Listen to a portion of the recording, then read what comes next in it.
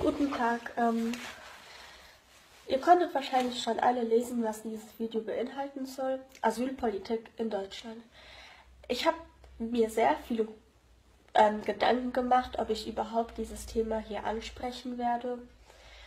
Ähm, auf Facebook sei es auch auf YouTube.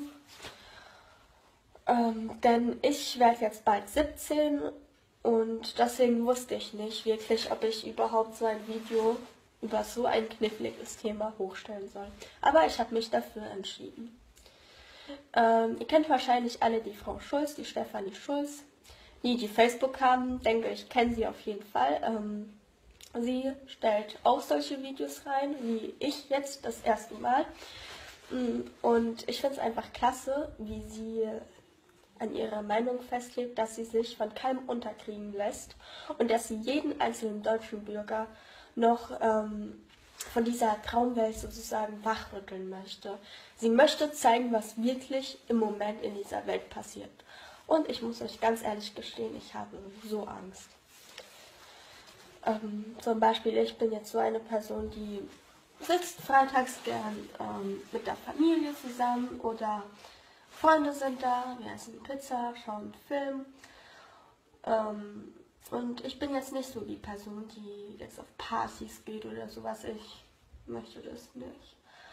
Und ähm, ich komme jetzt auch nicht nachts nach Hause, weil ich bin ja dann eher zu Hause so mit Freunden und sowas.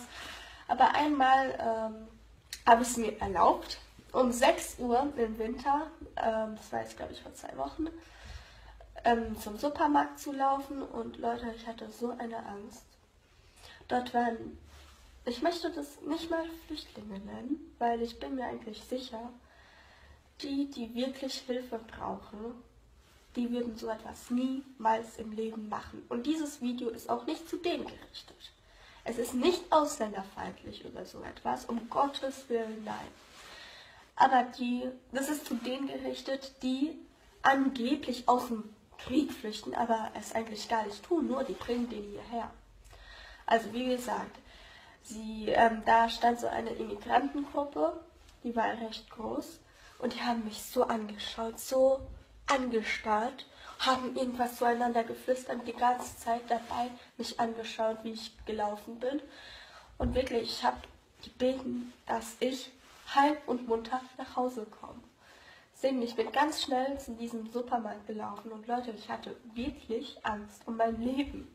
Das kann man nicht mehr anders beschreiben. Ich weiß wirklich nicht, was in Deutschland passiert. Ich finde es einfach traurig, weil wenn man sich so überlegt, Deutschland, es war so ein tolles Land und ihr habt es kaputt gemacht. Aber ich rede hier nicht nur über Deutschland, sondern ich möchte auch noch in Erwähnung ziehen. Es ist nicht nur Deutschland, es ist auch Frankreich, Schweden, Österreich und so weiter und so fort. Es ist nicht nur Deutschland, ihr macht noch mehr Länder kaputt. Und ihr müsst euch einfach vorstellen, ihr seid so willkommen wie Ebola. Ich verstehe nicht, warum man euch nicht abschiebt. Zum Beispiel, so leid es mir tut, aber das ist einfach die Wahrheit. Ähm, die Afrikaner zum Beispiel schreien, haben, ich weiß gar nicht wann es war, vor drei Tagen oder so, in Berlin geschrien, wir werden euch Deutsche alle töten. Die Deutschen werden von uns alle getötet und sofort raus, sofort abschieben. Und ich verstehe nicht, warum die immer noch auf freiem Fuß sind, warum die immer noch in Deutschland sind. Ich kann es einfach nicht verstehen. Wie, wie blind muss man eigentlich sein, dass man es nicht merkt, dass es wirklich mal Krieg geben wird. Und in so einer Welt möchte ich nicht leben, möchte gar keiner leben. Ich bin wirklich sprachlos. Dann noch eine kleine Geschichte. Mm, meine Freundin war bei ihrer Tante und da war dann auch noch die Freundin von ihrer Tante und die haben dort über das Thema geredet, Südpolitik und so weiter. Meine Freundin hat sich ein bisschen dazu gemischt und dann meinte ihre Tante tatsächlich, ja, Kind, das ist eine Sache von den Erwachsenen. Du solltest dich hier nicht einmischen, denn es geht dich nichts an. Wie dreist ist das? Leute, denkt ihr eigentlich, dass wir Kinder, Jugendliche, wenn ich jetzt mich in, äh, in sie, zum Beispiel in meinem Alter, haben die auch Angst? Ich denke auch 13-Jährige, die mal ein bisschen wirklich durchgelesen, Nachrichten durchgelesen haben, zum Beispiel auf Facebook die Wahrheit über 24 Stunden News oder Aufwachen Deutschland, ähm, Dreijährige von einem Asylanten vergewaltigt, 15-Jährige von einem Asylanten vergewaltigt, 12-Jährige von einem Asylanten vergewaltigt, 75-Jährige stark verprügelt, aber auch vergewaltigt. Und das ist wirklich grausam, was im Moment mit dieser Welt passiert. Wegen euch. Ich kann es wirklich nicht verstehen, wie man so handeln kann als Gast. Ähm, was ich aber auch nicht verstehen kann, warum Deutschland jetzt nichts macht. Warum Angela immer noch darauf schaut und nichts macht. Grenzen werden nicht gesperrt. Sie sind auf freiem Fuß. Warum? Warum werden diese Leute nicht abgeschoben? Erklärt es mir. Warum? Sie sind auf freiem Fuß und es, das ist jetzt nur eine kleine Nachricht für die Männer. Tut eure Kinder tu, und tut eure Frau, äh, Frauen wirklich beschützen. Wir brauchen diesen Schutz. Wir haben wirklich Angst, rauszugehen. Beschützt sie, seid für sie da und lasst sie nicht alleine jetzt zum Beispiel einkaufen gehen oder so, wenn es schon dunkel ist. Wir haben Angst, es ist eigentlich schon Hilfeschrei und ihr macht nichts. Ihr Politiker, ihr sitzt in eurer Villa, schlürft euer Cocktail und macht nichts. Ihr, ich weiß nicht, in was für einer Welt ihr lebt, aber Leute, wir haben Angst. Bitte, hilft uns endlich. Es kann nicht mehr so weitergehen. Bitte macht etwas. Ich kann es wirklich langsam nicht mehr verstehen. Es, dieses Thema geht jedem etwas an. Und wirklich, ich hab, ich bin paranoid geworden dadurch. Und ich verstehe einfach nicht, wie man nichts machen kann. Zum Beispiel, ich war bei meiner Freundin, die wohnt im Süden Deutschlands. Und dort ähm, gibt es auch von den Immigranten sozusagen, eine Demonstration. Allah, einzige Gott. Allah, Allah ist deine Zukunft. Koran auf kostenlos. Allah, einzige Gott. Allah, Allah. Christenverfolgung. Was soll die Scheiße eigentlich? Was soll das? Was soll das? Wenn ich Bock habe, an irgendeinen Karl-Heinz-Peter Gott zu glauben, dann werde ich an diesen Karl-Heinz-Peter glauben. Wenn ich zu ihm beten werde, werde ich beten. Weil ich möchte nicht an euren Allah glauben. Warum müsst ihr das jeden so in den Mund stecken? Warum? Es ist doch schön, wenn ihr an Allah glaubt. Glaubt doch einfach an ihn. Und gut ist, warum müsst ihr diese Religion so krass in den Dreck ziehen? Ich, manchmal denke ich wirklich, es wäre besser, wenn es keine Religion gäbe. Ich freue mich zwar für euch, dass ihr einen Gott habt und zu ihm beten könnt und so weiter, aber stopft es noch doch nicht anderen in den Mund, dass Allah der einzige Gott ist, wenn sie daran nicht glauben möchten. Wenn sie jetzt zum Beispiel an Gott glauben.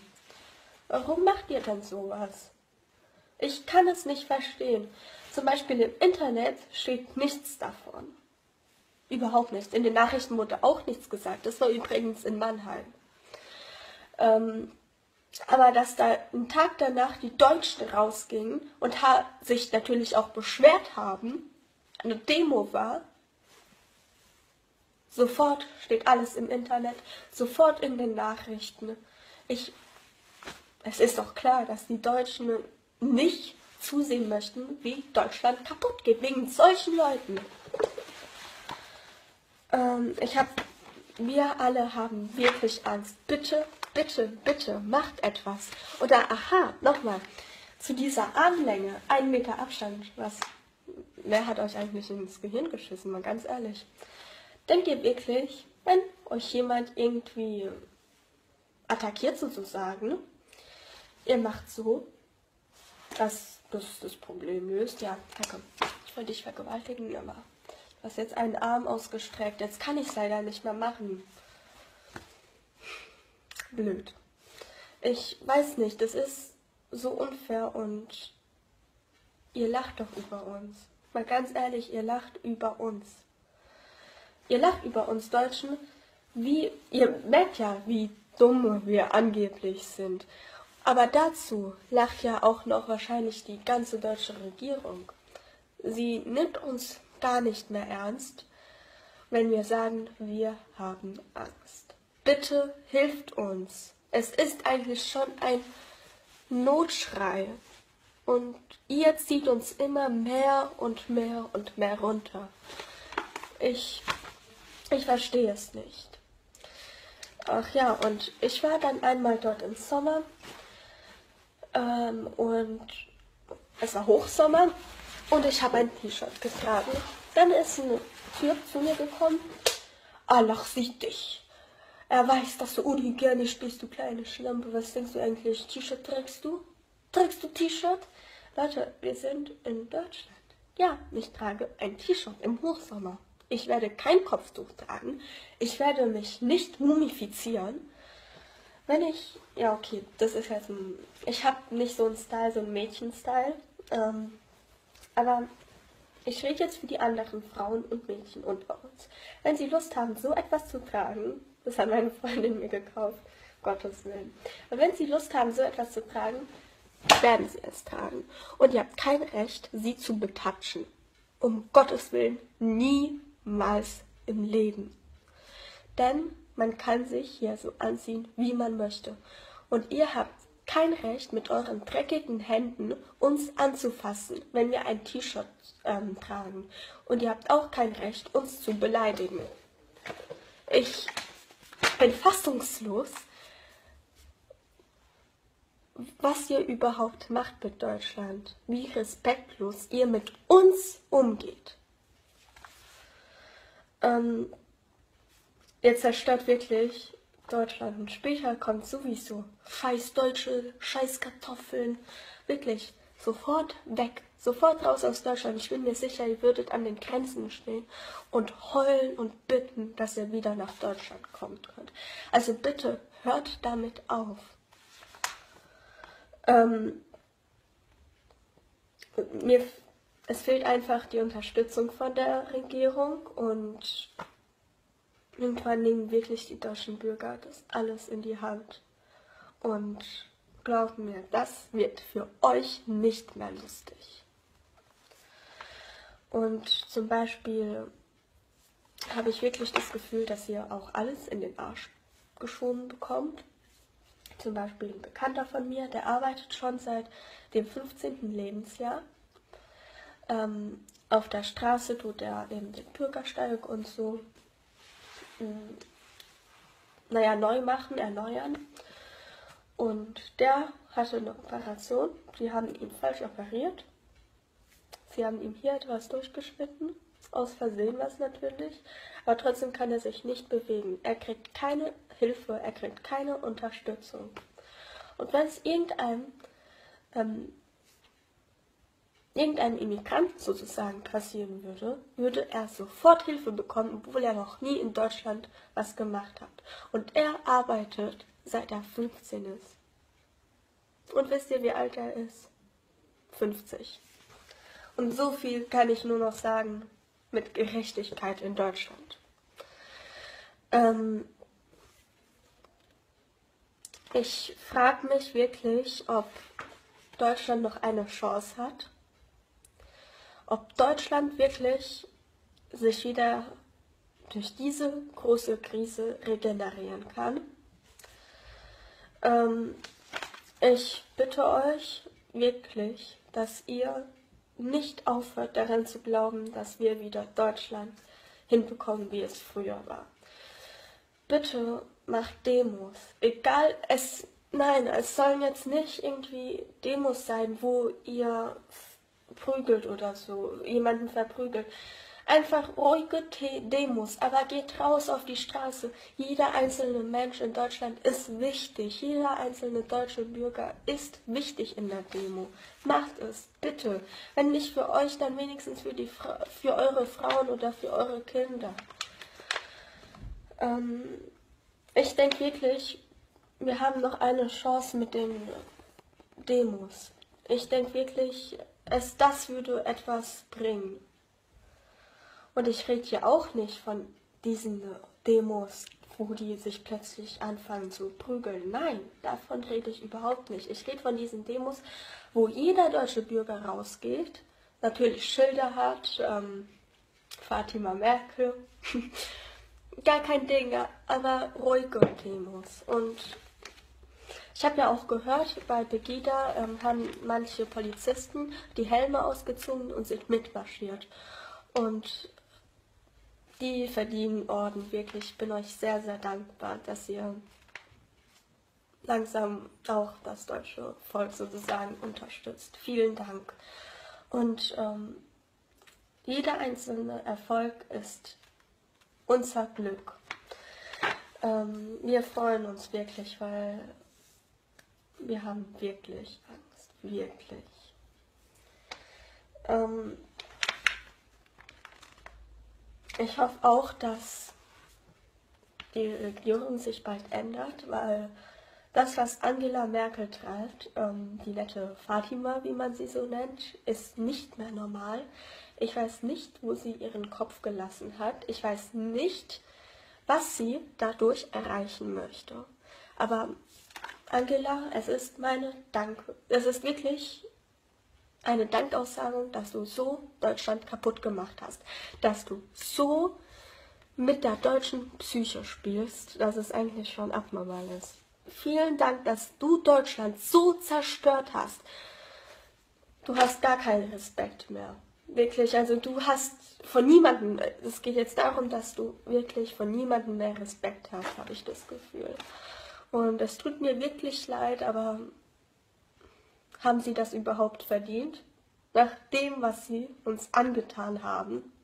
Und ich habe auch nicht das Gefühl, dass sie überhaupt wissen, was sie machen, weil sie ja immer noch nicht die Grenzen sperren wollen und immer noch mehr äh, aufnehmen möchten. Ich kann es nicht verstehen, wie sie immer noch drüber wegschauen können.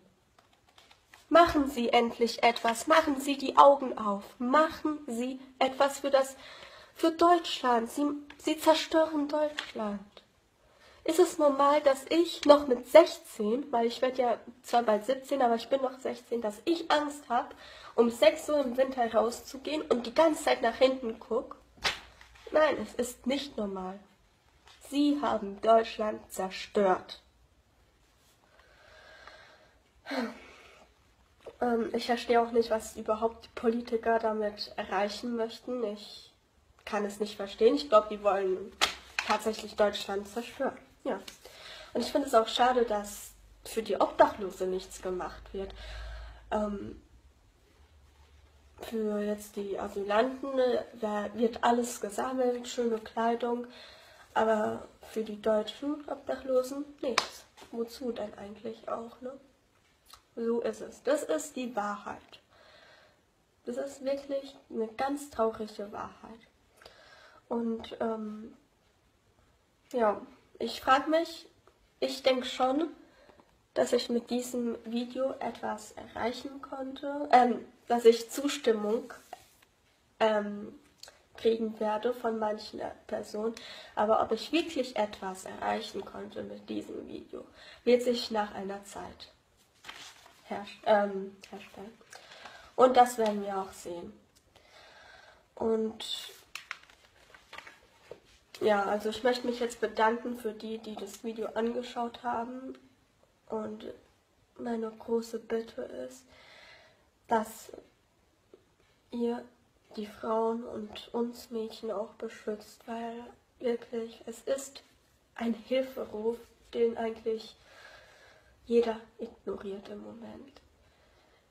Leute, ich habe wirklich Angst. Die meine Freunde haben auch Angst. Meine Freundin hat sich sogar Pfefferspray zugelegt, einen Elektroschocker, weil es ist wirklich abnormal, was im Moment passiert. Ich hoffe, ich konnte irgendetwas mit diesem Video erreichen und dass sich bald etwas ändert, weil